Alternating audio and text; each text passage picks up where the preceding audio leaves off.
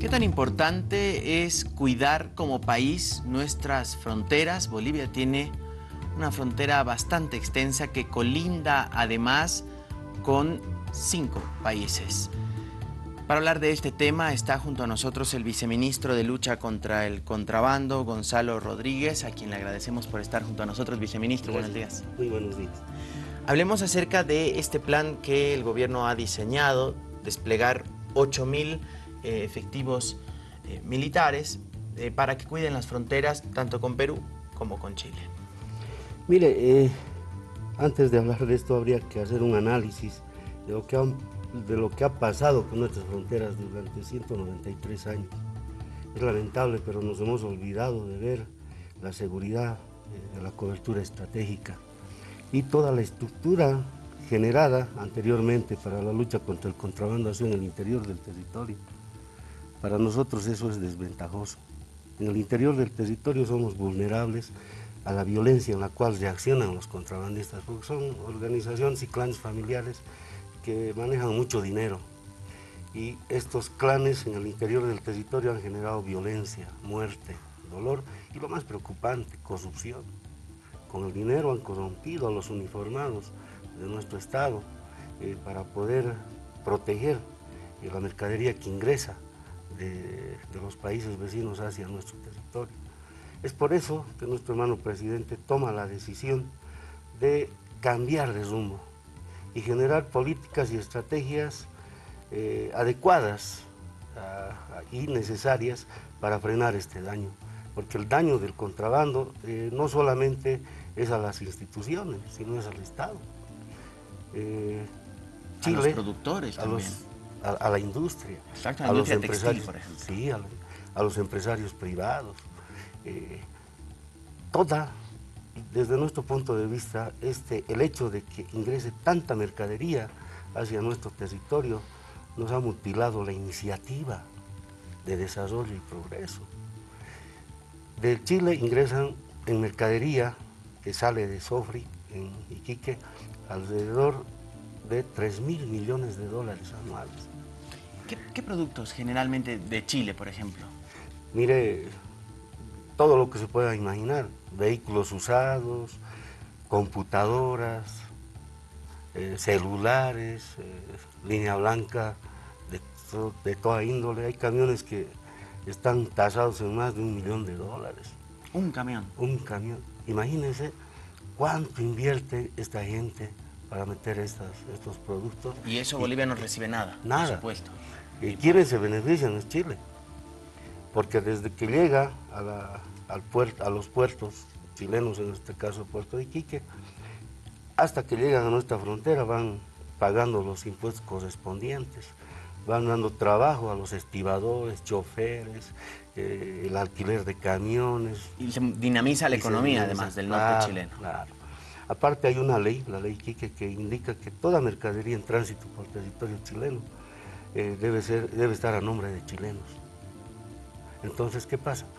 El comerciante que va compra a nombre chileno, llegando a la frontera tiene que pagar una comisión. También están fortaleciendo la economía del norte de Chile. ¿Cuándo se vuelve contrabando? Cuando cruzan la línea de frontera. Ahí ya no quieren aportar al, al, Estado ni al Tesoro. Claro, aportan todos los impuestos de ley en Chile. Exactamente. Y en Bolivia, donde van a vender el producto, no aportan nada. y de dónde son, además. Claro están fortaleciendo una economía extranjera. Eh, a causa de esto eh, es que podemos nosotros asegurar que si nosotros, eh, con mirada hacia la frontera, volver a, ver la frontera como la puerta de ingreso al país, no como algo lejano e imposible de, tocar, sino que ver y la realidad en la cual viven nuestros conciudadanos en la frontera cuáles son sus necesidades y fortalecer a las Fuerzas Armadas para que cumplan con el rol instituido por la Constitución Política del Estado, la cual les da la responsabilidad de la cobertura estratégica mediante el reconocimiento y seguridad de fronteras. Ahora, viceministra, es decir, usted eh, nos comentaba que la situación actual es que los puestos fronterizos o de control están dentro del territorio. Es decir, si, esta fuera la mesa Bolivia y esta es la frontera, están por acá. Sí. Y todo esto está perdido. No, no tanto así. Lo que pasa es que durante todo este tiempo eh, la realidad de los puestos militares ha cambiado. Hace 150, 180 años, ellos estaban solos en la frontera, no había población. A, causa del asentamiento del puesto, es que alrededor de los puestos han nacido poblaciones pequeñas. ¿no? ¿Qué ha generado esto? Tres situaciones. La primera, que están encapsulados en un lugar, no pueden moverse porque no tienen vehículos para cumplir con su misión. La segunda es que están a decisión de, las autoridades eh, la hora y forma de realizar con su función fundamental que es la seguridad, porque aquí hay intereses económicos. Lo tercero ya no es un punto estratégico, porque el contrabando ha ido generando caminos de penetración hacia el país, burlando estos puestos militares. Claro, esquivando. Esquivando. Entonces, ¿qué es lo que queremos? reubicar estos puestos en lugares donde puedan operar libremente y cumplir con la misión constitucional que es el reconocimiento y la seguridad fronteriza. Asimismo, para nosotros, ¿qué van a hacer eh, estos puestos militares adelantados? Van a destruir los caminos de penetración que tanto daño nos están haciendo. ¿Qué son los caminos de penetración? Son aquellas carreteras construidas por, por Chile hacia el interior de nuestro territorio, que cuando pasan la frontera ya, se ramifica a todo lado y eso genera el problema que tenemos. Ahora, viceministro, además de estos 8.000 efectivos que van a ser eh, desplegados, eh, se van a construir, usted nos decía, nuevos puestos fronterizos y también se los va a equipar, es decir, van a tener un equipamiento de comunicación, no sé, estoy lanzando ideas de repente, drones para hacer un control adecuado y una vista aérea. ¿Con qué van a estar dotados? Mire, eh, los puestos militares adelantados eh, le van a dar calidad de vida y dignidad al soldado en la frontera. ¿Por qué decimos dignidad? Porque en este momento estamos como por dioseros allá en la frontera, sin los medios adecuados. ¿Qué está haciendo? ¿Qué ha ordenado nuestro hermano presidente? Generar una nueva estructura de fortalecimiento de la seguridad fronteriza. Para eso, en una primera línea, es el fortalecimiento de los puestos militares adelantados. ¿Y qué van a tener cada puesto? Van a tener 40 camas, van a tener baños, duchas, comedor, cocina, sala de operaciones, una sanidad, eh, una sala de armas, un helipuerto para evacuaciones y operaciones aéreas que vayamos a realizar allá, una seguridad perimétrica. Asimismo, se les está dotando de dos vehículos para cumplir con la misión del reconocimiento de seguridad fronteriza. Dos motocicletas para ocupar puntos críticos y observar hacia el otro lado. No, no se tiene, no tienen un solo vehículo. Y comunicaciones adecuadas a nuestra necesidad, que son, tienen que ser comunicaciones militares. No podemos estar utilizando nosotros eh, las comunicaciones satelitares, celulares, porque ya nos eh, quitan la iniciativa operativa. Entonces, con esto esperamos parar el contrabando en la frontera. El objetivo de esta nueva estrategia no es decomisar o comisar más mercadería, sino es evitar que ingrese la mercadería al país y obligarles a... el miedo, meterles el miedo a los contrabandistas que digan, bueno, en Bolivia ya no me puedo hacer la burla. Exacto. Y eh, asimismo obligarles a ingresar por los puntos primarios hacia el país, donde va a estar nuestra aduana, nuestra policía, migración, SENASAC y todo, todo el estamento del Estado que es lo correcto, que eso debía ocurrir desde que nacimos a la vida democrática y... Es como una familia, cuando construye su casa, dice lo primero hace el muro perimetral y cuida eso. Y cuida eso, nosotros nos hemos olvidado. Ingresan de manera... Eh, o sea, no, no, hay control. Viceministro, ¿hasta cuándo se terminaría con este nuevo plan de reorganización y si además se va a aplicar en otras fronteras con otros países? Bueno, tenemos al sur, mm. tenemos al, al este. Mire, el 28 entregamos el primer puesto militar. Estos puestos militares no, son construidos con cemento y fierro. Eh, son unas estructuras metálicas innovadas. Nuestra aduana ha construido ese tipo de estructuras que nos dan mucha seguridad y fortaleza en la frontera.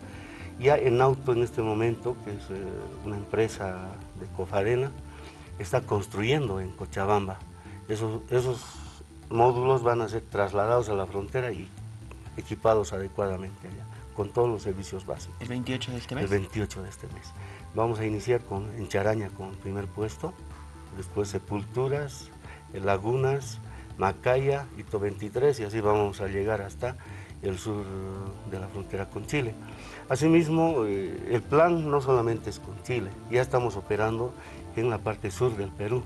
Ya se ha hecho la exposición de nuestro hermano presidente del plan y nuestro ministro de Defensa ya nos ha eh, dado las instrucciones correspondientes para adecuar nuestra nueva estructura en el Perú. Ya estamos operando. ¿Qué entra por Perú? Entra verduras, papa, cebolla, fruta, eh, ropa. Ni se imaginan la cantidad de ropa que ingresa por esa frontera. Hemos abandonado la frontera con Perú también. ¿Y a quiénes afecta? A los pequeños productores de los valles cochabambinos, de los valles cruceños, chuquisaqueños, tarijeños. Por ejemplo, eh, la papa peruana que ingresa a nuestro territorio, ellos venden entre 8 y 15 bolivianos. Nuestro productor produce una arroba en 20 bolivianos. Imagínense vender en menos precio. Está matando a la familia que trabaja ahí campo, que todas las 24 horas está labrando la tierra y esta gente en unos minutos está destruyendo toda esa labor. Entonces ya tenemos en el Perú. Asimismo ya estamos planificando, eh, porque cada frontera es diferente. ¿Qué, ¿Qué, vamos a hacer en la frontera con la Argentina y el Paraguay? Ya eh, yo creo que unos días más nuestro hermano ministro Javier Zabaleta estará eh, exponiéndole a nuestro hermano presidente la nueva estructura que vamos a implementar allá. Eh, con relación a Chile, esperamos tener el control total de la frontera hasta el mes de marzo del 2019, estamos a cuatro meses. ¿no? Viceministro, muchas gracias por haber estado junto a nosotros y por habernos expuesto este nuevo plan de reorganización, de cuidado de nuestras fronteras. Sin duda alguna, un tema vital para cualquier país. Muchas gracias. Sí, y para terminar, quiero resaltar, eh, el trabajo, ya estamos, ya hemos cubierto mil kilómetros de frontera entre Chile y, Perú con nuestro ejército. Las maniobras las han eh, planificado y ejecutado en la frontera con estos países. Eh, y ahí hemos podido comprobar que las estrategias propuestas por el gobierno para la lucha contra el contrabando son efectivas. Ellos han ocupado eh, puntos estratégicos en la línea fronteriza, lo que le hablaba la cobertura estratégica.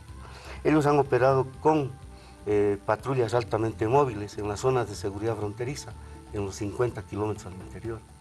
Asimismo han ocupado puntos críticos desde la frontera hacia el interior y han, y han organizado la unidad de evaluación operativa, de evaluación control, con el Estado Mayor, donde los generales y los coroneles más antiguos del ejército han estado desplegados en los, en los eh, mil kilómetros de frontera.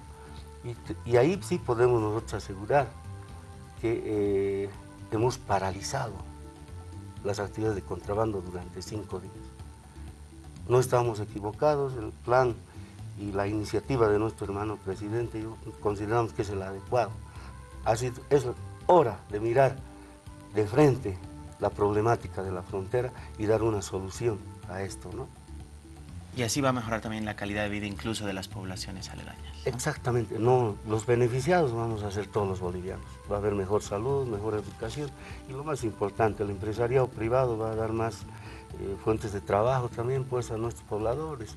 Los eh, que trabajan en la tierra y el agro van a tener mejores ganancias porque el producto que vayan a producir va a ser bien remunerado, no como ahora van a regalan en este momento Así es. Vamos a estar atentos nosotros, viceministro, a lo que va a ocurrir el 28 de noviembre eh, y a este nuevo, a la implementación de este nuevo plan. Queremos agradecerle por haber estado junto a nosotros, viceministro. gracias. Un gusto, muchas gracias. Gracias. Estuvo junto a nosotros el viceministro Gonzalo Rodríguez, el ministro de Lucha contra el Contrabando, acerca de este nuevo plan estratégico que ha diseñado el gobierno nacional para cubrir nuestra frontera, especialmente con el país de Chile, donde el viceministro nos decía alrededor de 3 mil millones de dólares de mercadería de contrabando entra por año. Es decir, esto va mermando nuestra economía, va en desmedro de nuestros productores y por supuesto eh, del Estado como tal. Hay un nuevo plan que va a empezar a implementarse desde el 28 de noviembre y nosotros por supuesto vamos a estar atentos.